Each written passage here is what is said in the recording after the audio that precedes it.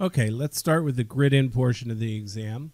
Number 58. The figure below shows a circle with a hole in the middle. The outer diameter is a quart, inch and a quarter. The inner diameter is a quarter inch. And what did they want to know? What is the area of the shaded region to the nearest hundredth of a square inch? Okay, so this is a calculate area geometry problem, particularly shaded area. I want to find the area of the outer shape, which a circle is going to be pi r squared. Be careful, that radius of the circle's not one and a quarter. That's our diameter. Diameter is twice the radius. So that the radius here, if that's 5 fourths for the diameter, the radius is 5 eighths. So that's going to be pi times 5 eighths squared, which is 25 pi over 8 squared is 64. 25 64 is pi we want to subtract the inner area or the inner circle from that.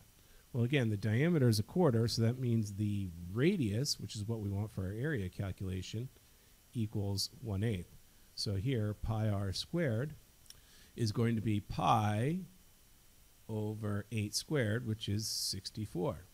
So I subtract the outer area minus the inner area. That's going to be 25 minus 1 64ths times pi, or 24 pi over 64, which reduces to 3 eighths pi. That's my answer. However, let's read the question again, just to check. They want it to the nearest hundredth. So this is grid in. I have to get this in decimal format, which means I have to multiply out pi, which I know is 3 0.14159, etc. Okay, I need it to two decimal places nearest hundredth, so I really should be careful. I need to actually multiply out three decimal places and round to make sure I'm accurate to two decimal places. So let's take a look at that. That's going to be 3 times 3.14, and I'll round the 159 up to 2. So that has to be 3, 6, 3 is 12, carry the 1, 3 times 1 is 3, 4, and 3 times 3 is 9. So this is, and I need to divide that now by 8, because it's 3 eighths pi.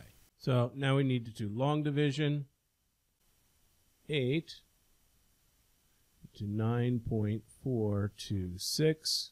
So 8 into 9, 1 times, that's 8 giving us 1.426.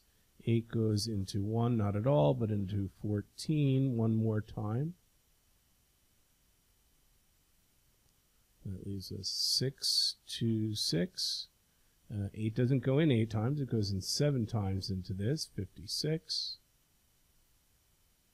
So that leaves us 66 here. 8 goes into 66 8 more times. So 1.178 for rounding to a hundred or round to the hundredths place?